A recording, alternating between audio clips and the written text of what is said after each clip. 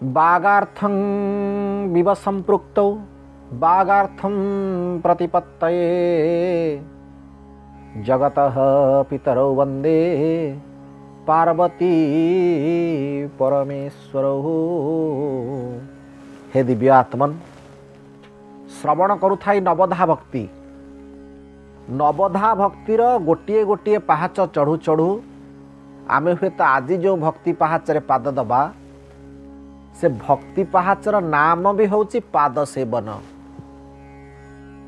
ପ୍ରଭୁଙ୍କର ପାଦୋଦକ ପାନ କରିବା ପ୍ରଭୁଙ୍କର ପାଦରେ ମନ ଲଗେଇବା ପ୍ରଭୁଙ୍କର ପାଦକୁ ପ୍ରଣାମ କରିବା ଇଏ ମଧ୍ୟ ଗୋଟାଏ ଭକ୍ତି ନବଦା ଭକ୍ତିର ଗୋଟେ ମାର୍ଗ।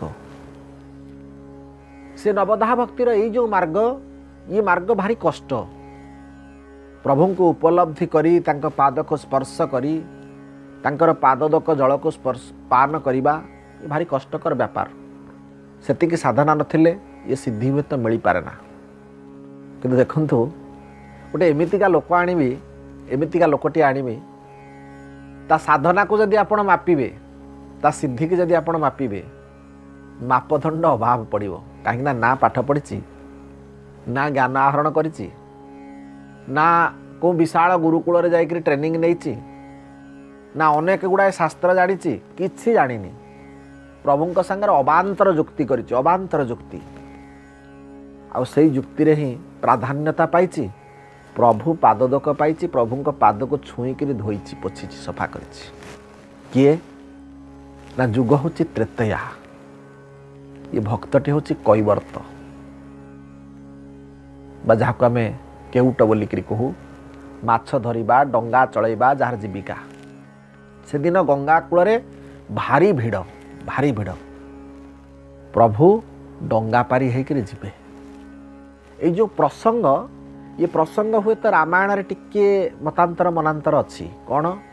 ନା ମହାନାଟକରେ ଯେଉଁଠି ଲେଖିଛନ୍ତି ହନୁମାନଜୀ ମହାରାଜ ସେଇ କଥାକୁ ମଧ୍ୟ ଉତ୍କଳୀୟ କାବ୍ୟ ଛଟାରେ ଭଞ୍ଜ ମଧ୍ୟ ସେଇ କଥା ଲେଖିଛନ୍ତି। କିନ୍ତୁ ମୂଳ ରାମାୟଣରେ ବାଲ୍ମୀକିଙ୍କ ପାଖରେ ଏ ପ୍ରସଙ୍ଗଟି ଉତ୍ଥାପିତ ହେଇନି। ସେ ଯାହା ବି ହେଉ ପ୍ରଭୁ କିନ୍ତୁ ଡଙ୍ଗାରେ ବସିକିରି ପାରି ହେଇଛନ୍ତି ପ୍ରଭୁ ପାରି ହେଇଛନ୍ତି ଏକଥା ସତ ପ୍ରଭୁ ପାରି ହେଲା ବେଳେ ଡଙ୍ଗାରେ ବସିକିରି ପାର ହେବେ ସେଦିନ ଗଙ୍ଗା ନଦୀ କୂଳରେ ଅସମ୍ଭାଳ ଭିଡ଼। ଯେମିତି ଆମର କେହି ରାଷ୍ଟ୍ରୀୟ ନେତା ରାଷ୍ଟ୍ରୀୟ ଅଧ୍ୟକ୍ଷମାନେ ଆସିଲେ। ଆମେ ଯେମିତି ଭିଡ଼ ଜମେଇଥାଉ ଟିକେ ଦୃଶ୍ୟମାନ କରିବା ପାଇଁ ଦେଖିବା ପାଇଁ ଠିକ୍ ସେଇଭଳି ଭାବରେ ସେଦିନ ଗଙ୍ଗା କୂଳରେ ପ୍ରବଳ ଭିଡ଼ ଲାଗିଛି। ଆଉ ସେ ଭିଡ଼ ଭିତରେ ପ୍ରଭୁ ନିଜେ ଛିଡ଼ା ହେଇଛନ୍ତି କୋଶଳ କିଶୋର ରାଘବେନ୍ଦ୍ର ସରକାର କରୁଣା ବରୁଣାଳୟ ନୟନାଭିରାମ ରାମ ରାମଚନ୍ଦ୍ର। ଗୋଟାଏ ଡଙ୍ଗା ଆଉ ଡଙ୍ଗା ନାହିଁ। ଗୋଟିଏ ଡଙ୍ଗା ଉପରେ ଗୋଟେ ବୁଢ଼ା କୈବର୍ତ୍ତ ବସିଛି। ପ୍ରଭୁ ଡାକୁଛନ୍ତି କୈବର୍ତ୍ତ ଆସ ମୋତେ ଡଙ୍ଗା ପାର କରେଇ ଦିଅ। କିନ୍ତୁ କୈବର୍ତ୍ତ ତାକୁ ଶୁଣୁନି ଶ୍ରବଣ କରୁନି ପ୍ରଭୁଙ୍କ କଥା ବି ଶୁଣୁନି।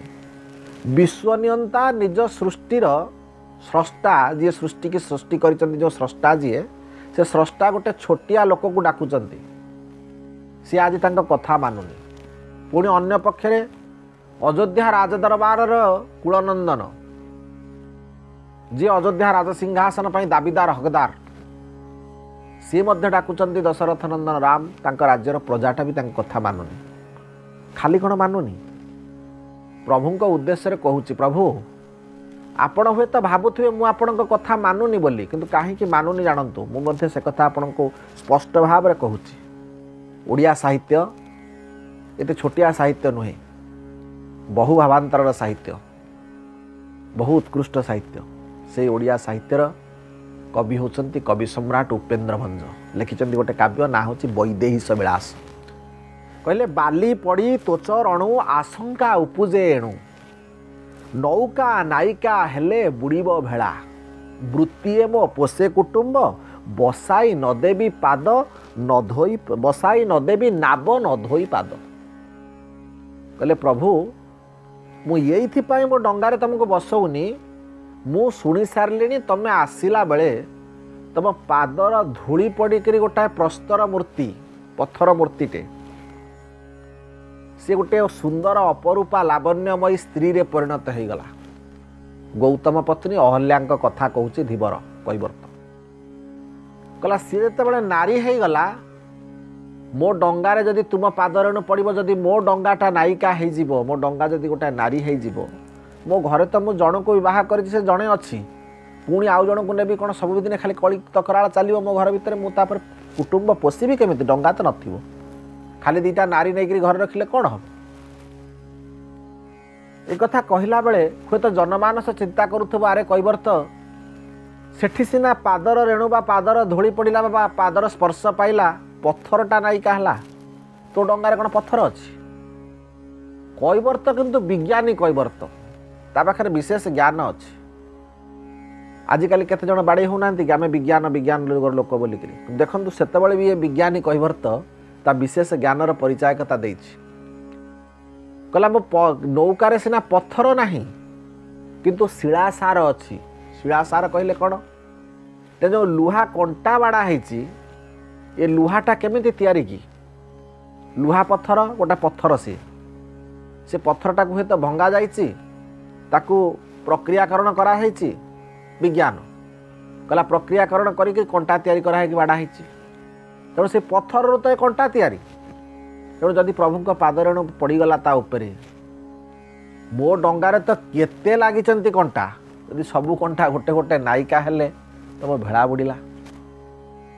ତେଣୁ ଏଇ ଚିନ୍ତା ଚେତନା ଭିତରେ ହେ ପ୍ରଭୁ ଯେପର୍ଯ୍ୟନ୍ତ ମୁଁ ଆପଣଙ୍କ ପାଦ ନ ଧୋଇଛି ସେ ପାଦରୁ ଗୋଟି ଗୋଟିକିରି ସବୁଯାକ ଧୋଳିକି ବାଛିକିରି ସଫା ନ କରିଛି ସେ ପର୍ଯ୍ୟନ୍ତ ଇଏ ଡଙ୍ଗାରେ ବସେଇ ଦେବିନି। ପ୍ରଭୁ ମଧ୍ୟ ନିର୍ବି ହତବାକ ହେଇକିରି ଛିଡ଼ା ହେଇଛନ୍ତି ଆଉ ପ୍ରଭୁଙ୍କ ପାଖରେ କିଛି ଉପାୟ ନାହିଁ। କ'ଣ କରିବେ? କ'ଣ କରିବେ?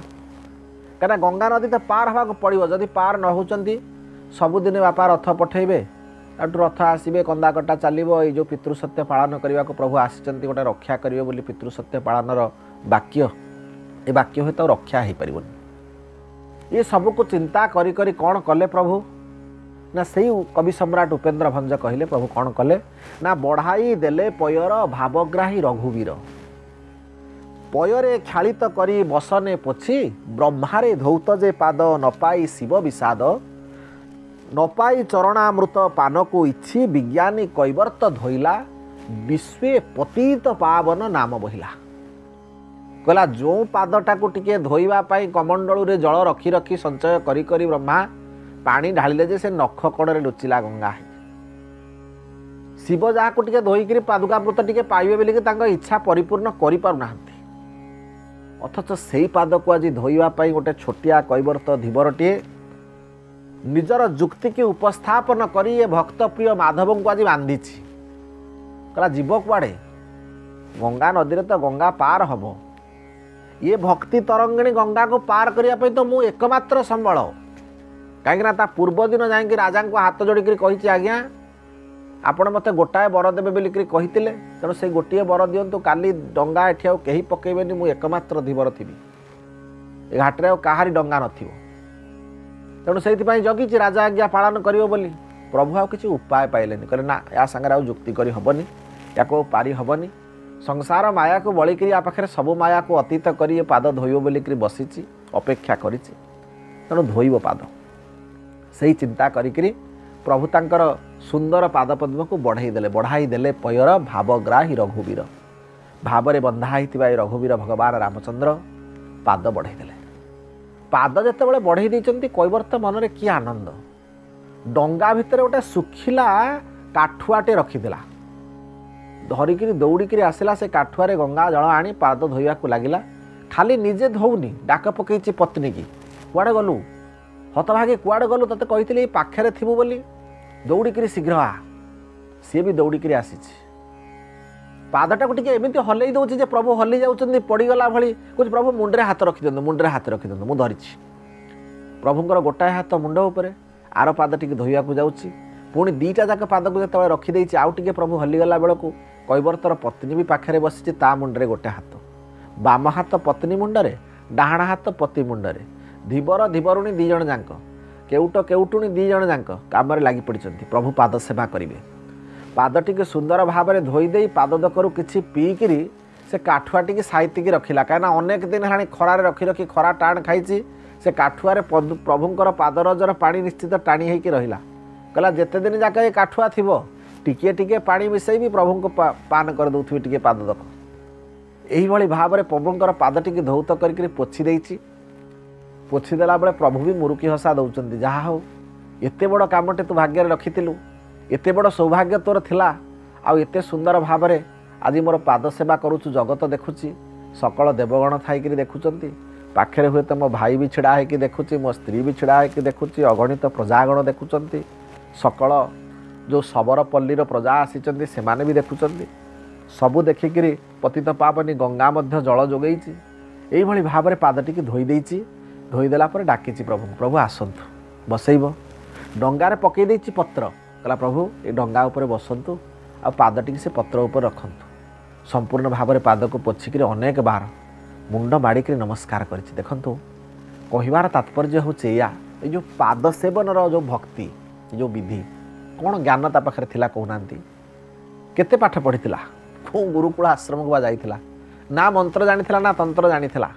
ଯେଉଁ ପ୍ରଭୁଙ୍କୁ ପୂଜା କରିବା ପାଇଁ ଅନେକ ପ୍ରକାର ମନ୍ତ୍ର ଆମେ ଗାନ କରୁଥାଏ ଅନେକ ପ୍ରକାର ମନ୍ତ୍ର ଅନେକ ପ୍ରକାର ଉପମା ଅନେକ ପ୍ରକାର କଥା ଅନେକ ପ୍ରକାର ବାର୍ତ୍ତାରେ ପ୍ରଭୁଙ୍କର ଆରାଧନା ଷୋଡ଼ଶ ଉପଚାର ପୂଜା ଚନ୍ଦଗନ୍ଧ ଧୂପ ପୁଷ୍ପ ଜଳ ଏତେ ପ୍ରକାର ଜିନିଷ ଦେଇକରି ପୂଜା କରାଯାଉଛି କିଛି ଜାଣିନି କିଛି ଜାଣିନି ଅଥଚ ନିଷ୍ପାପ ମନରେ ନିଷ୍ପାପ ମନରେ ପାଦ ସେବନ କରିବ ବୋଲି ଗୋଟେ ଭାବଭକ୍ତିର ଧାରା ଭିତରେ ପାଦ ଧୋଇଦେବି ପାଦ ହେଉଛି ସବୁଠାରୁ ତଳେ ଲାଗୁଥିବା ଜିନିଷ ତୁଚ୍ଛ ଜିନିଷ। କିନ୍ତୁ ଚିନ୍ତା କରିଛି ମନେ ମନେ ମୁଁ ପାଦ ଧୋଇବି ମୁଁ ପାଦ ସେବା କରିବି। କାହାର କରିବି ନା ପ୍ରଭୁର କରିବି ମାଲିକର କରିବି। ସେଇ ଭାବର ଉଚ୍ଚାଟ ଭିତରେ ପାଦ ଧୌତ କରିଛି। ସତରେ ମଧ୍ୟ ବିଶ୍ୱେ ପତିତ ପାବନ ନାମ ବହିଛି। ଅନେକ ଦିନ ଯୁଗ ଯୁଗାବ୍ଦ ଧରି ଆଜି ପର୍ଯ୍ୟନ୍ତ ବି ଲୋକେ ସେ କୈବର୍ତ୍ତକୁ ମନେ ରଖିଛନ୍ତି। ମନେ ରଖିଛନ୍ତି ତାକୁ। ଆଉ ଏତେ ପୁଣ୍ୟ କାମ କରିଛି ଯେ ସେ ପୁଣ୍ୟ କାମ ବଳରେ ପ୍ରଭୁଙ୍କର ଗାରିମା ବଢ଼ିଛି ଭକ୍ତ ପାଇଁ ପ୍ରଭୁଙ୍କ ଗାରିମା ବଢ଼ିଛି। ପ୍ରଭୁଙ୍କ ଗାରିମା ଏଇଥିପାଇଁ ବଢ଼ିଛି ଯେ ପ୍ରଭୁ ମୁଁ ପତିତ ଜନଟେ ଆପଣ ମୋତେ ଉଦ୍ଧାର କରିଛନ୍ତି ମୋ ମସ୍ତକରେ ହାତ ଥୋଇଛନ୍ତି ଆପଣଙ୍କର ହାତ ସ୍ପର୍ଶ ପାଇଛି ଆପଣଙ୍କର ପାଦ ସ୍ପର୍ଶ ପାଇଛି ଆପଣଙ୍କ ପାଦକୁ ନିଜ ହାତରେ ଧୋଇଛି ସେ ଚରଣାମୃତକୁ ପିଇଛି। ତେଣୁ ପ୍ରଭୁ ଆପଣ ଯେତେବେଳେ ପତିତ ଉଦ୍ଧାର ବାନା ଉଡ଼େଇଛନ୍ତି ମୁଁ ସିନା ପତିତ ହେଇଥିବା ଯୋଗୁଁ ଆପଣ ପତିତ ପାବନ ପ୍ରଭୁ ତେଣୁ ଭକ୍ତର ଗାରିମାକୁ ନେଇକରି ପ୍ରଭୁଙ୍କ ଗାରିମା। ତେଣୁ ଇଏ ହେଉଛି ପାଦ ସେବନର ମର୍ଯ୍ୟାଦା। ତେଣୁ ହେ ଦିବ୍ୟ ଆତ୍ମନ ହୁଏତ ସମୟର ଇଙ୍ଗିତରେ ଦିବ୍ୟବାଣୀକୁ ବିରାମ ଦେବାର କଥା ଆସିଲାଣି ସମୟ ଆସିଲାଣି। ତେବେ ବିରାମ ଦେବା ପୂର୍ବରୁ ଏତିକି ମନେ ରଖନ୍ତୁ ଏଇ ଯେଉଁ ଭାବଭକ୍ତିର କଥା ଏ ଭାବଭକ୍ତିରେ ପ୍ରଭୁ ବନ୍ଧା ପଡ଼ନ୍ତି। ଏ ପାଦ ସେବନ ଛୋଟିଆ କଥା ନୁହେଁ ଆଉ ଏ ପାଦ ସେବନ ପାଇଁ ବିଶାଳ ଜ୍ଞାନର ଆବଶ୍ୟକତା ନାହିଁ ବିଶାଳ ପାଣ୍ଡିତ୍ୟ ଅହଙ୍କାର ଦର୍ପ ଦମ୍ଭର ଆବଶ୍ୟକତା ନାହିଁ। କେବଳ ପ୍ରଭୁ ପାଖରେ ସମର୍ପଣର ଭାବ। ଏ ଯେଉଁ ଶବ୍ଦ ସମର୍ପଣ ଏଇ ସମର୍ପଣକୁ ଯଦି ଧ୍ୟାନ ଦେଇଥିବେ ପ୍ରଭୁ ପାଖରେ ଯଦି ନିଜର ବିଶ୍ୱାସ ଅତୁଟ ବିଶ୍ୱାସକୁ ଭାବବନ୍ଧନରେ ବାନ୍ଧି ଦେଇଥିବେ ତେବେ ନିଶ୍ଚିତ ଭାବରେ ଏ ସୌଭାଗ୍ୟ ଆପଣଙ୍କୁ ଲାଭ ହେବ। ଆଉ ଏଇ ଯେଉଁ ଭକ୍ତିର ପାହାଚ ଆମେ ଯେଉଁ ପାଦ ସେବନର କଥା କହୁଥାଇ ସେ ପାଦ ସେବନ ଭିତରେ ଆପଣଙ୍କ ଜୀବନ ପାଇଁ ନିଶ୍ଚିତ ଭାବରେ ସୁଖଫଳ ଆସିବ ପୁଣ୍ୟଫଳ ଆସିବ। ପ୍ରଭୁ ପାଦକ ଚରଣାମୃତ ପାନ କରିବାର ଯେଉଁ ଜିଜ୍ଞାସା ସେ ନିଶ୍ଚିତ ଭାବରେ ଅନୁରଣିତ ହେବ ଆପଣଙ୍କର ପରିସ୍ଫୁଟିତ ହେବ ଆପଣଙ୍କ ମନ ମାନସିକତା ପୂର୍ଣ୍ଣ ହେବ। ଏଇ ଧ୍ୟେୟ ଏଇ କଥାକୁ ଆପଣମାନଙ୍କ ପାଇଁ ଉଦ୍ଦେଶ୍ୟରେ ରଖି ପ୍ରଭୁ ଚରଣାର ବିନ୍ଦ ତଳେ ଭକ୍ତିପୂତ ସମର୍ପଣ ଏ ପାଦ ସେବନ ଭକ୍ତି।